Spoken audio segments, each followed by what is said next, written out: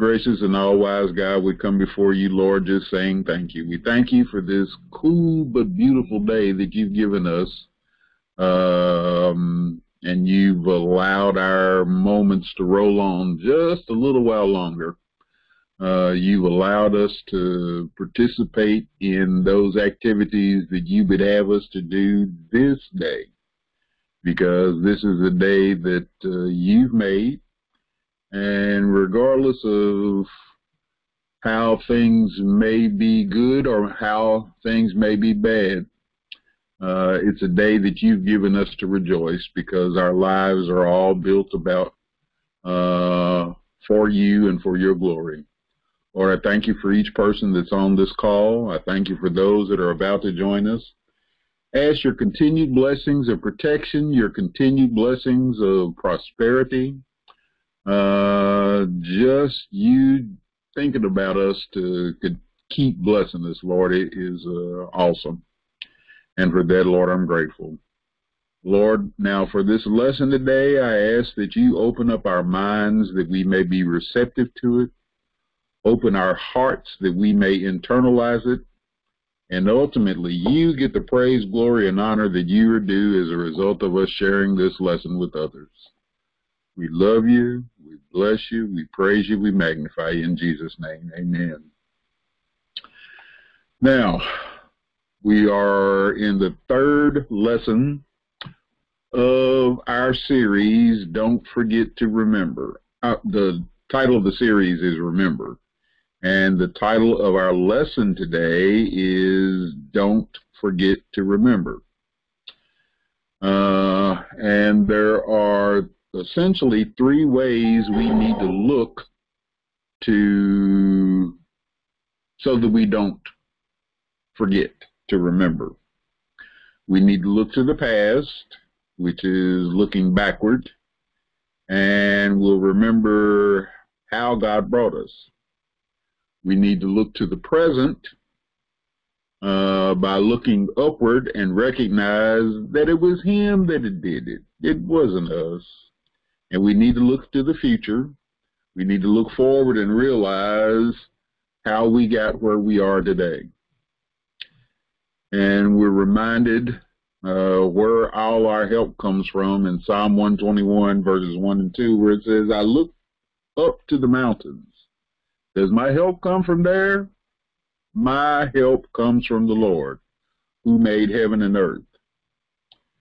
And as we remember uh, back in 1976, Eddie, Robbins, Eddie Robertson wrote these lyrics. He says, when you get a little money and get on your feet, why do you change? For what God has blessed you with is more than you need. Why can't you remain the same? Today may be as bright as the morning sun. Tomorrow may be dark and everything gone.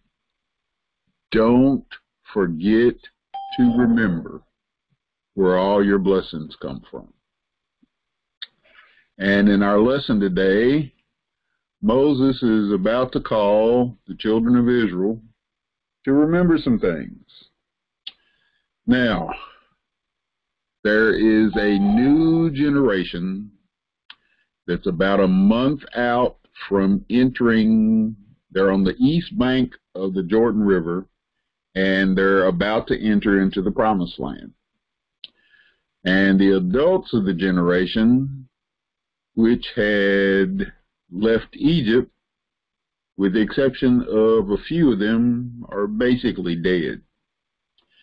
And they are dead because they were disobedient. They had broken God's law. Those were considered sins of commission. And when they got, or when they get to the gates, or when they get to the entryway of the promised land, they sort of fail to believe God. Those are sins of omission. So one of the things that you need to note is that unbelief is a sin. Now, what they had been relying on and what they were, had received was the law. The law was good, but it gets weak through the flesh. It was the flesh that was wrong then, and it's the flesh that's wrong today. In our flesh, there's nothing good. That's why God had to do something different. And he had to do things a different way, and that different way that he used or he uses still today is called grace.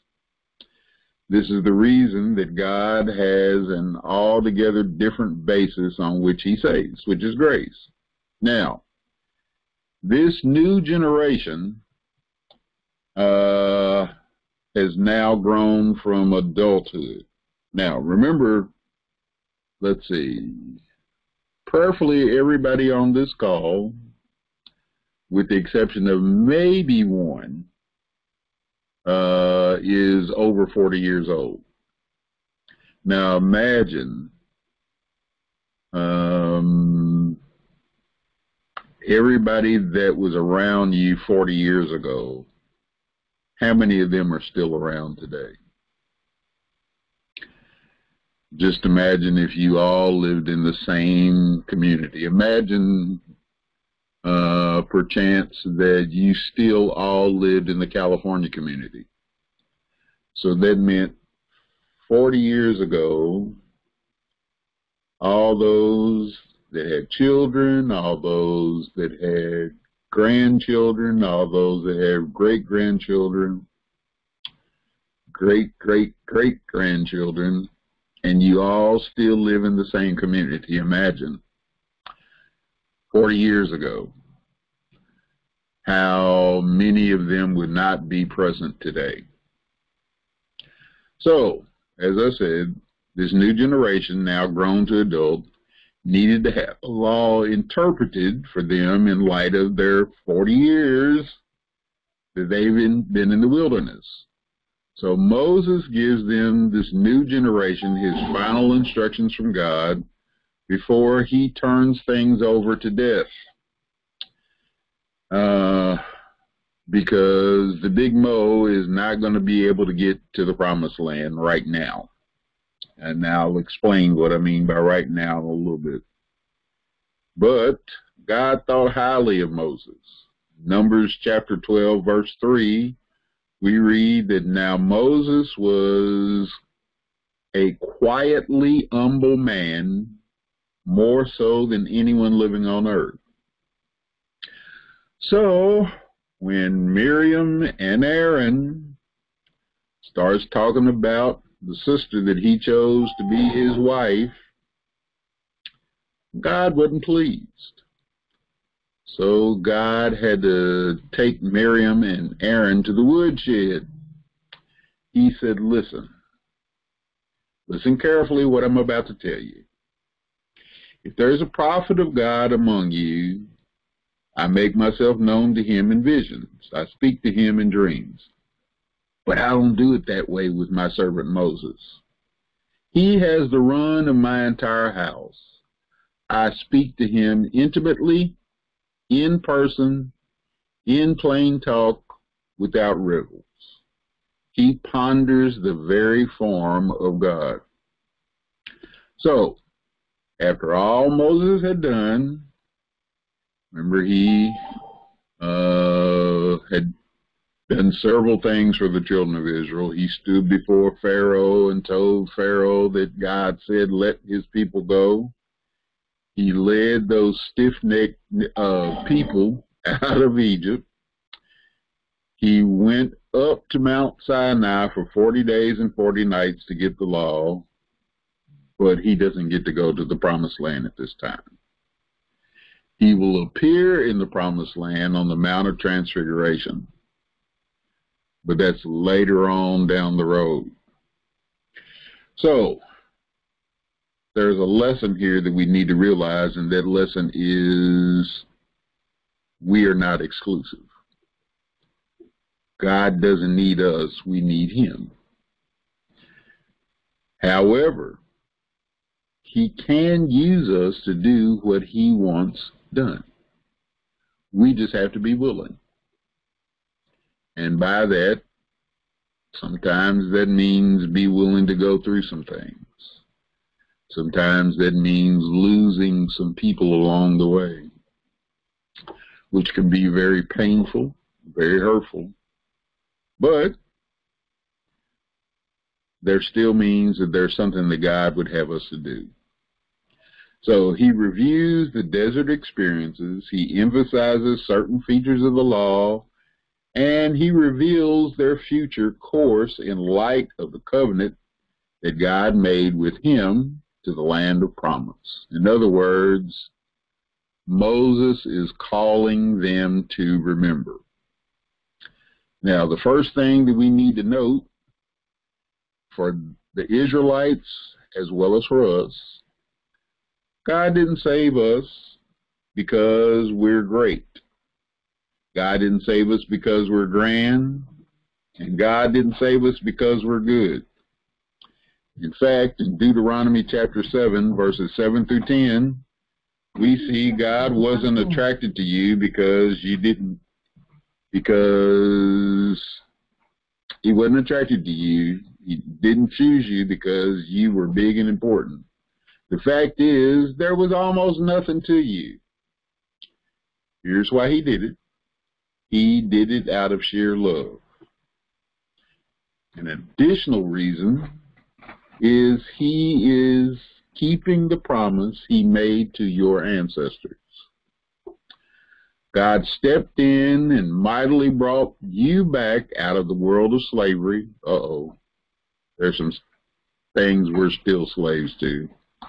Freed you from the iron grip of Pharaoh, king of Egypt, Know this God, your God, is indeed God, a God you can depend on. I can stop right there. That That's all I need to know. He keeps his covenant of loyal love with those who love him and observe his commandments for the thousand generations. But he also pays back those who hate him and how does he pay them? He pays them with wages of death. He isn't slow to pay them off. Those who hate him, he pays right on time. Now, he doesn't pay them in on our timetable. He pays them on his table, timetable. He's right on time. So, here it is, your time to respond. Uh, the first point to ponder. How often do you stop and think about what God has done for you and why he did it?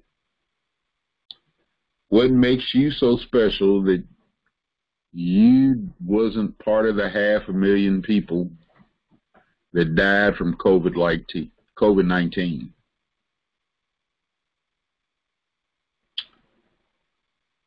Anybody care to respond? Star six to respond.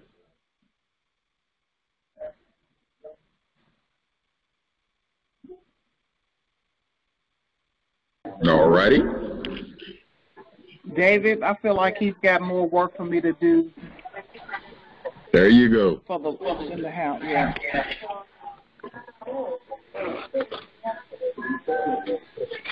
And with him having more work for you to do, that means that there's some things that you need to be making yourself readily available for, right? Amen. All right. I'm ready for me. He's not ready for you. Well, here's something else for you to think about. That perhaps he has blessed you because he made a promise to your ancestors he might have made a promise to my grandfather, who was a pastor. How often do you think of his goodness to you? Now, some of you uh, don't really think of that good state until you get into a point where you have some problems. Um, now, there are some of you that do think of his goodness quite often, but many of us don't. So, here's what we need to remember. God saved Israel because, and saved us because of his goodness. Nahum 1 7 says, and I'm reading from the message translation God is good, a hiding place in rough times. He recognizes and welcomes anyone looking for help. And then in Matthew 19 and 17, Jesus said, Why do you question me about what is good? God is the one who is good. If you want to enter the life of God, just do what he tells you. So, he saved us because of his goodness. He saved us because of his grace. Ephesians 2 and 8 says, For it is by God's grace that you have been saved through faith. It is result it is not the result of your own efforts, but God's gift, so that no one can boast about it. You not saved because you so good or so pretty. uh, you're saved because of God's grace. In Romans 4 and 16 says, This is why the fulfillment of God's promise depends entirely on trusting God and His way. And then simply embracing Him in what He does. God's promise arrives as pure gift. That's the only way everyone can be sure to get in on it.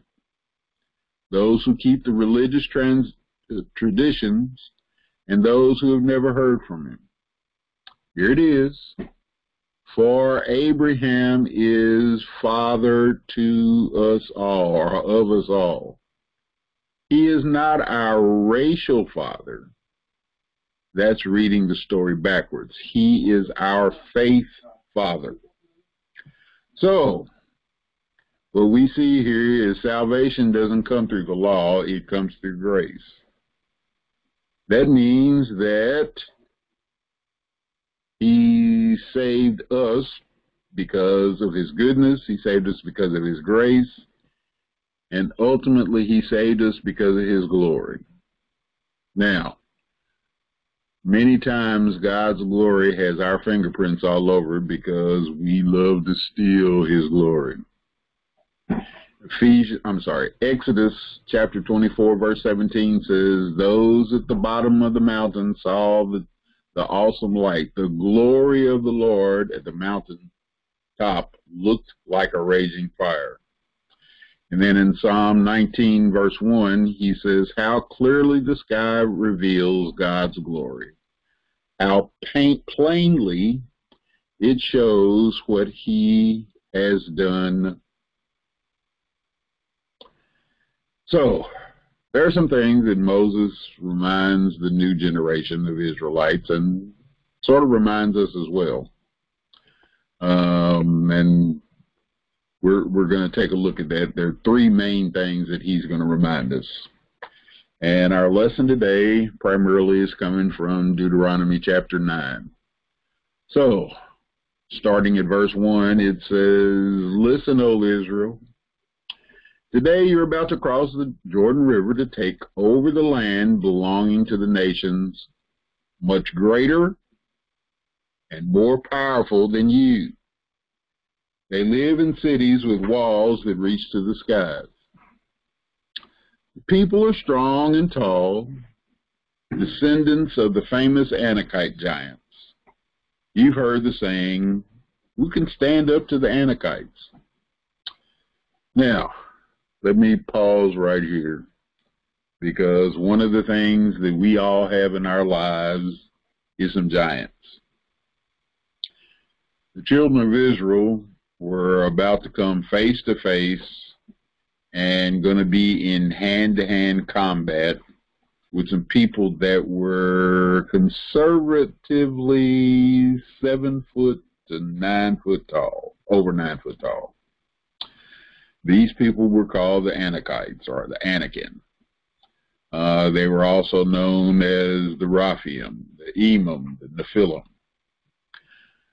And one of the most memorable Anakites that we'll read about stood nine feet nine inches tall. His name was Goliath.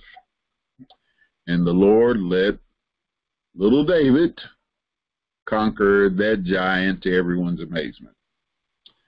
Now, the giants we face today are a little different unless you are a professional basketball player. Some of our modern day giants are struggles with drugs, alcohol, sexual addictions. Uh, there are even some that are still uh, struggling with pride. And basically, a giant is anything that comes between us and God, and that interference is usually because we can't defeat that giant. So, here's a question that uh, as you're facing your giant, as you're about to enter into that promised land that you've been called into, who, who's settling on the land that occupies your time, your effort, your energy, and who is keeping you from marching into your land of promise? Who's on your land? Who's stealing what is meant for you? Doesn't matter uh, if they're named the Hittites, the Amorites, the uncleites, the best friendites, the boyfriendites, girlfriendites. Some of you have the kidites and the co-workerites. Somebody's always around to steal something. But I want you to realize what verse 3 says. But recognize today that the Lord your God is the one who will cross over ahead of you like a devouring fire to destroy them. He will subdue them so that they will quickly conquer, so you will quickly conquer them and drive them out, just as the Lord had promised. Now, 40 years ago, they'd already had that promise. Remember, Moses sent over 12 spies in Numbers chapter 13, and 10 brought back a bad report, and only two said we could conquer them. Remember, the kept saying that they looked like grasshoppers in their eyes, and the land is fruitful, but the giants are present. Now, what the Lord is saying right here in verses 1 and 2 seem even more fright, frightful than or frightening what the spies had said. But verse 3 is the critical verse. Yes, there are giants in the land. Yes, there are walled cities. Yes, there are a lot of things. But the Lord is going ahead to destroy them. Verse 3 again, but recognize today that the Lord your God is the one who will cross over ahead of you like a devouring fire to destroy them. He will subdue them so that they you will so that you will quickly conquer them and drive them out just as the Lord has promised.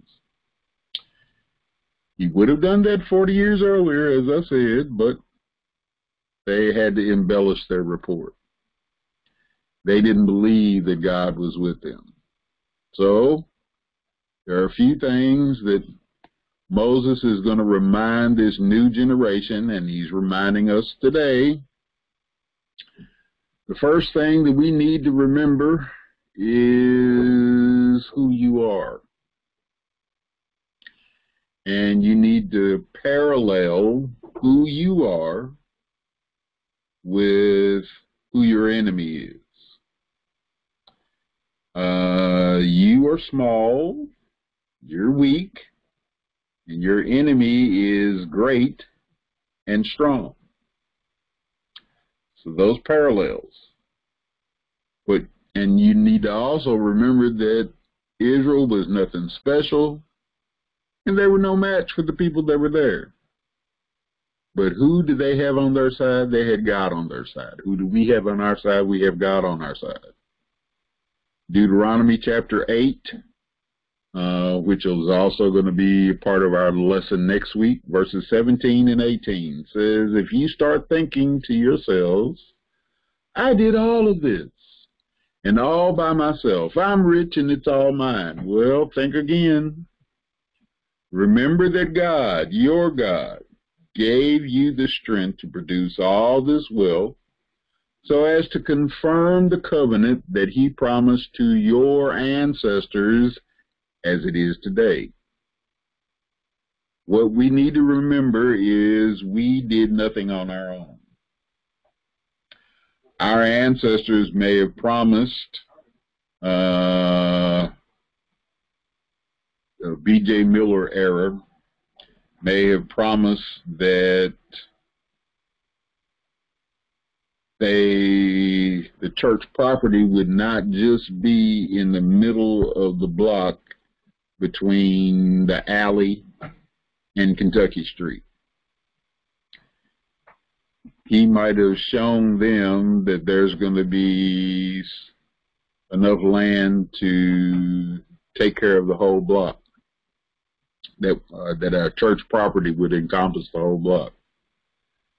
We don't know because they're not around to tell us. God may have revealed a whole lot of things to them. God may have promised a whole lot of things to them. But we don't need to be like the guy that's in Luke chapter 12. Uh, starting at verse 16, he says, Jesus told him this story. The farm of a certain rich man produced a terrific crop. He talked to himself. That can be a good thing or a bad thing. We won't talk about that right now. What can I do? My barn isn't big enough for this harvest. Then he said, Here's what I'll do. I'll tear down my barns and build bigger ones. Then I'll gather in all my grain and goods. And I'll say to myself, Self, you've done well. You've made it. You've got it made and can now retire. Take it easy. Have the time of your life. Just then God shows up and said, Fool. when God calls you a fool, you're a fool. Tonight you die. And your barn full of goods who gets it? That's what happens when you fill your barn with self and not with God. So, first thing we need to remember is who you are. You're nothing. It's only through God's help that you're able to do anything. The second thing you need to remember is whose you are. Because, as it says there in verse 3, Recognize today that the Lord your God is the one who will cross over ahead of you, will, he's coming ahead and will be like a defire, devouring fire to destroy them.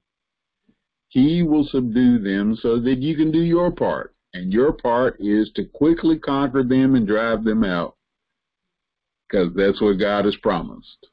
All right? So, we serve a God who's able to do some things. That's whose we are. We're, we're God's. We serve a God who is, first off, able. What is he able to do? He is able to keep you from stumbling and to present you before his glorious presence without fault and with great joy. Ephesians 3 and 20 says, Now all glory to God who is able through his mighty power and work within us to accomplish infinitely more than we can ask or think. Now, I don't know if you have a good imagination like I do, but here's the thing. No matter how much you think about God can do, he, we don't, our minds can't even scratch the surface. Rev said Sunday that Mary Oliver in a poem said, Some words will never leave God's mouth no matter how hard you listen. You won't hear him say, No more no more love. I ain't got no more love for you. I ain't got no more strength.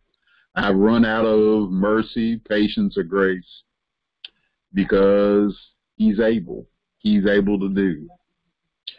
Not only is do we serve a God who is able, but he is attentive. Psalm 116 verse 1 says, I love God because he listened to me. Listened as I begged for mercy. The songwriter penned it and said that I love the Lord because he heard my voice and pitied my every groan.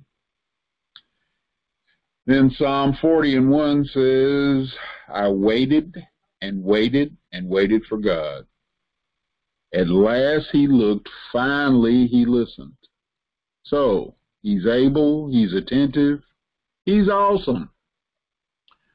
Deuteronomy 7 and 21 says, No, do not be afraid of those nations, for the Lord your God is among you, and he is great and awesome. Because we serve an awesome God. Not only is he awesome, he's authentic. He's the real thing. Colossians 2 and 17 says, These things are like a shadow of what is to come.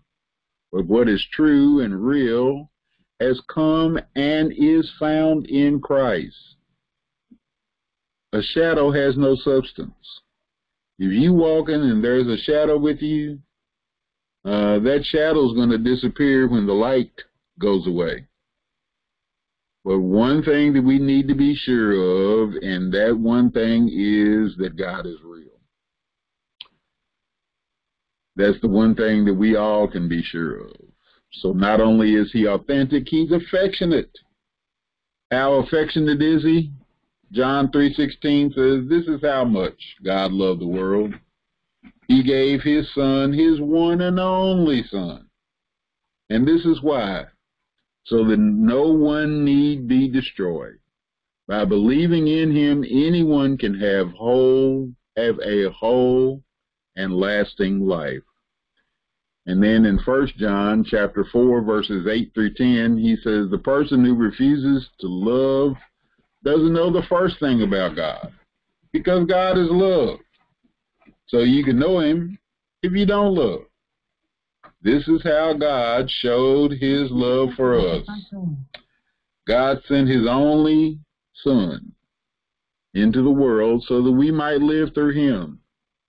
This is the kind of love we're talking about, not that we once uh, upon a time loved God, but that he loved us and God sent his son as a sacrifice to clear the way our sins and the damage they've done in our relationship with God. So that's why to this day,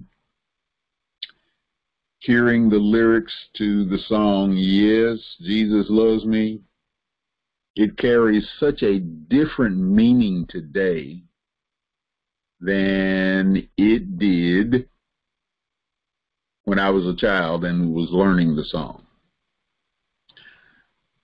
because just the thought that he still loves me despite some of the things I've done, that's real love. That's authentic love. So, he's also accessible. James 4 and 8 says, Come close to God, and he will come close to you. How do we come close to God? We come close to God in prayer. And more importantly than anything else on that list, God is amazing. Habakkuk 3 and 2 says, I've heard all about you, Lord. I am filled with awe by your amazing works. In this time of our deep need, help us again as you did in years gone by. And in your anger, remember your mercy. Instead of, like we talked about last week, if we were ants, uh, if we as human were ants, the fact that he became one of us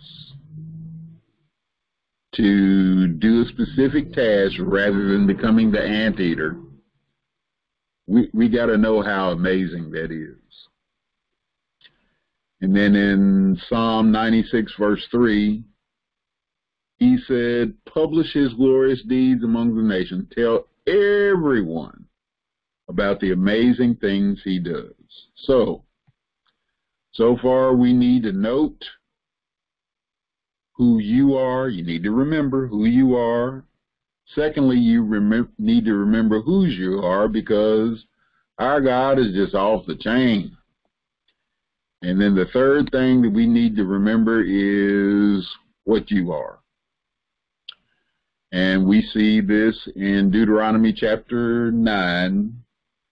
And this is a lengthy passage, uh, starting at verse 6, but it's a crucial passage. 6 through 17 says, You must recognize that the Lord your God is not giving you this good land because you're good. Remember, we already said we ain't good. For you are not. What are you? You're a stubborn people. Remember and never forget how angry you made the Lord your God out in the wilderness. From the day you left Egypt until now, you have been constantly rebelling against him.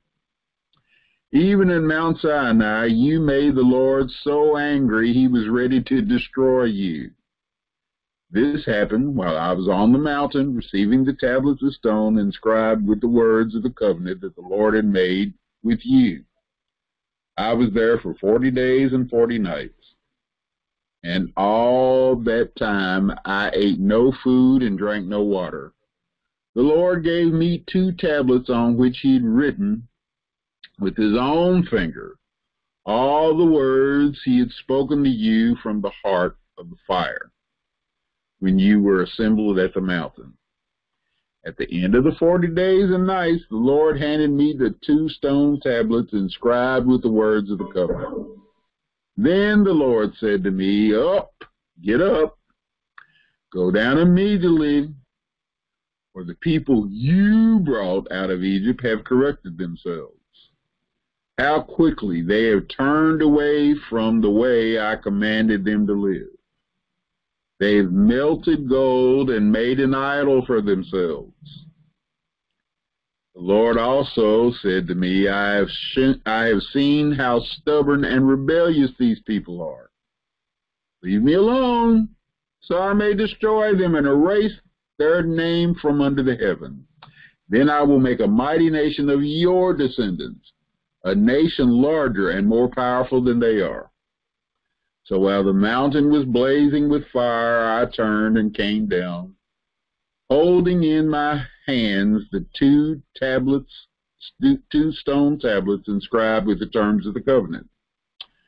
There below me, I could see that you'd sinned against the Lord your God.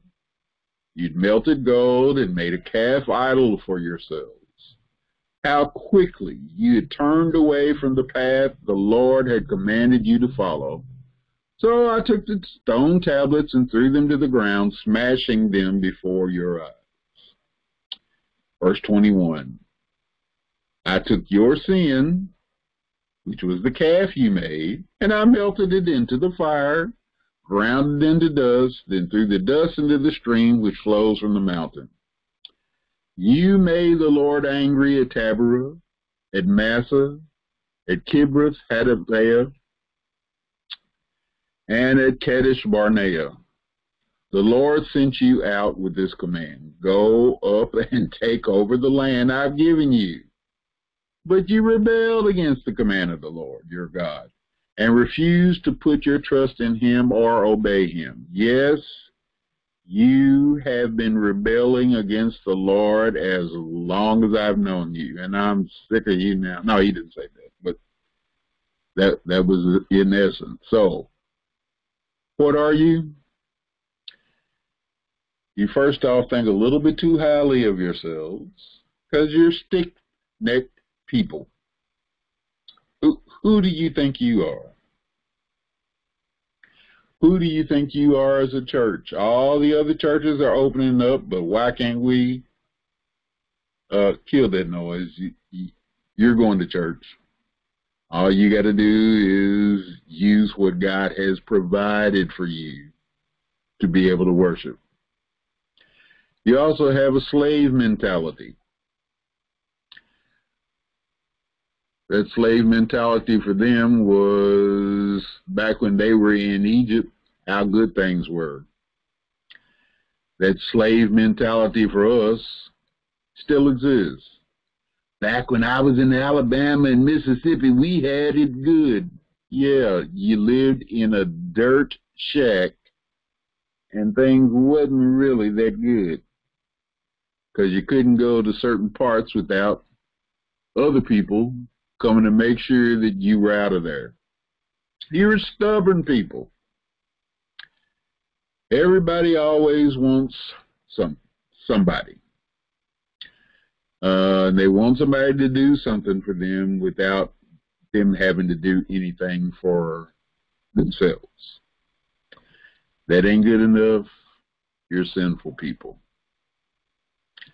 So, once you see what you are, the next thing that you need to note is why you are and where you are. And we see this starting in verse 4. After the Lord your God has done this for you, in other words, after he's already taken care of the land, remember verse 3 said he's going ahead to do some things after the Lord has your God has done this for you, don't say in your hearts, the Lord has given us this land because we are such good people. He's reminding you good again, you ain't no good. No. It is because of the wickedness of the other nations that he is pushing them out of your way. It is not because you are so good or have such integrity that you're about to occupy their land. The Lord your God will drive these nations out ahead of you only because of their wickedness and to fulfill the oath he swore to your ancestors. Uh-oh, Abraham, Isaac, Jacob. How do you know God allowed your moments to roll on uh, it ain't because you were great. We're standing on the promises God made to somebody else. David said in Psalm 37, verse 25, I was once young. Now I have a gray beard. Not once have I seen an abandoned believer or his kids out roaming the streets. Verse 18 Then, as before, I threw myself down before the Lord for forty days and forty nights. I ate no bread and drank no water because of the great sin you committed by doing what the Lord hated, provoking him to anger. I feared that the furious anger of of the Lord, which turned him against you, would drive him to destroy you. But again, he listened to me. The Lord was so angry with Aaron that he wanted to destroy him too, but I prayed for Aaron, and the Lord spared him. That is why I threw myself down before the Lord for forty days and forty nights. For the Lord said he would destroy you. I prayed to the Lord and said, O sovereign Lord, do not destroy them. They are your own people. They are your special possession, whom you redeemed from Egypt. by your mighty power and your strong hand. Please overlook the stubbornness and the awful sin of these people and remember instead your servants, Abraham, Isaac, and Jacob. If you destroy these people, the Egyptians will say, the Israelites died because the Lord wasn't able to bring them out of the land and he promised to give them. Or they might say he destroyed them because he hated them. He deliberately took them into the wilderness to slaughter them. Here's the key. But they are your people, God, and they are your special possession, whom you brought out of Egypt by your great strength and powerful arm. So, you need to remember who you are, whose you are, what you are, nothing, why you are, and where you are. The first thing you need to remember is somebody prayed for you, had you on their mind. Took the time to pray for you. Deuteronomy chapter 9, verse 25, Message translation says, When I was on my face prostrate before God those 40 days and nights, after God said he would destroy you. He laid before the Lord. Our ancestors probably did the same. Um, so that we would not be killed while we were out doing our mess. Daniel chapter 6, verse 10 says, When Daniel learned that the law had been signed, in other words, the law prohibiting prayer, he went home and knelt down as usual in his upstairs with his windows open towards Jerusalem. He prayed three times a day, just as he'd always done, giving thanks to his God. So, you cannot stop prayer. It's our most wonderful weapon, but we don't use it. But remember I said somebody prayed for you? They had you on their mind. You weren't even conceived, but they had you on your mind. And then we have in Matthew chapter 6, part of the Sermon on the Mount, here's what I want you to do. First, find a quiet, secluded place so that you won't be tempted to role play before God. Just be there as simply and honestly as you can manage. The focus will shift from you to God, and you will sense His grace. You will sense His presence. So remember somebody prayed for you. Recognize solely that you're here solely by God's grace. Can't speak for anybody else, but I'm a grace case and that grace has been freely given. Psalm 48 and 11 says, For the Lord is our sun and shield. He gives us grace and glory. The Lord will withhold no good thing from those who do what is right. He'll also block some bad stuff. That's some great news right there. Acts chapter 13, verse 43. Many Jews and devout converts to Judaism followed Paul and Barnabas, and the two men urged them to continue to rely on the grace of God. So that grace is freely given, and it's promised to the humble. First Peter 5, 5 and First Peter chapter 5, verse 5 says, In the same way, you who are younger must accept the authority of the elders, and all of you dress yourselves in humility as you relate to one another, for God opposes the proud but gives grace to the humble. Now, this doesn't always apply to young people because there are some foolish old people You didn't do anything to earn that grace. You didn't do anything to receive that mercy. but it was given to you today.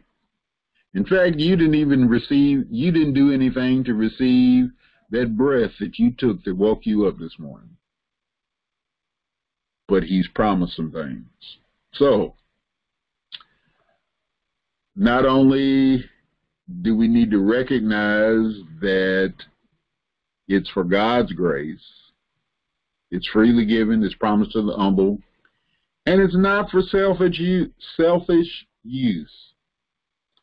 God has given each of you a gift from his great variety of spiritual gifts. Use them well to serve one another. Your gift is for us to serve one another. So, prayerfully, there is something that has been said today that will trigger your memory. Anytime that you start to veer off course, that you will be brought back into alignment with what God would have you to do. And how do we do that? Well, first off, you need to thank God that regardless of your past, present, or your present, that you have a glorious future awaiting for you as a believer. Because we all need to be ready to tell somebody about Christ. Sometimes we need to use words when necessary. We need to be an ever-present example of how a Christ follower should respond in interacting with others. Sometimes we don't respond too kindly, especially those that are outside the faith. Then you have to hear this. I thought he was a Christian. I thought she was. You don't want to hear those words. So you need to be that ever-present example. And how do we know to be that example? Because we need to read God's Word. We need to share with others how we are called to remember what Christ has done in our lives. There are some things that he's done for me that he might not have done for you. But here's that other part is what he's done for me is probably something that's meant for somebody else. Because that's just how God works. Yes, you might not have been a drunk. Yes, you might not have been a drug abuser.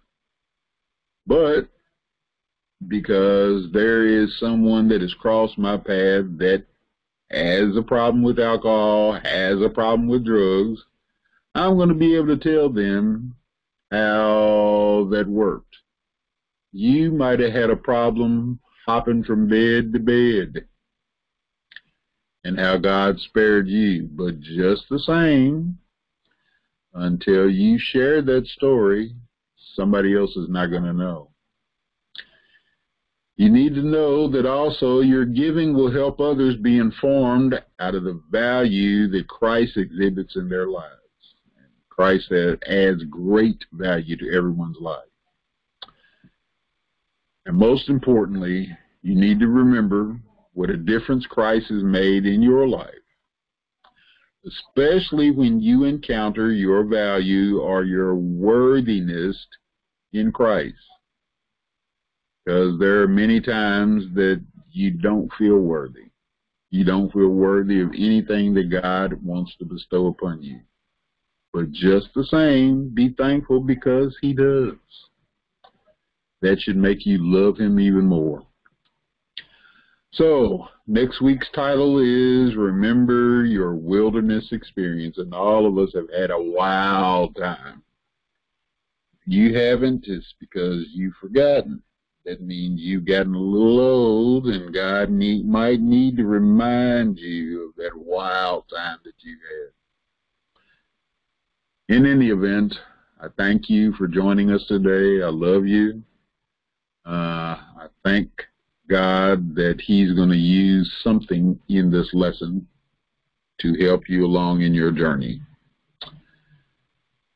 Now we're going to take prayer requests. Any blessings that you have bestowed on us, Lord. Thank you for a new day that we've never seen before, Lord. Thank you for being in our right mind today, Lord. Oh God, thank you for the activities of our limbs, Lord. Oh God, thank you for a new set of mercies that you have provided for us today, Lord. We just want to give you glory, honor, and praise for all that you have done because you are so worthy, Lord. And we thank you for what you've done, Lord. And we thanking you right now for what you're going to do, Lord. Oh God, you heard the names called on that list today. William Spalding, Tony Pittman, the James, all of those that's needing your help right now, Lord. You see them, the one that had the stroke today. Go yonder right now in the name of Jesus, Lord. We plead the blood of Jesus over him, cover him in the name of Jesus. You touch his body right now, Lord. Oh God, and you heal him from the top of his head to the sole of his feet, Lord. Oh God, you look on every name that's called and dealing with sickness and affliction or whatever the condition may be, Lord, but you are a healer and you promise that you will heal our bodies, Lord. So we asking that you heal in the name of Jesus, Lord.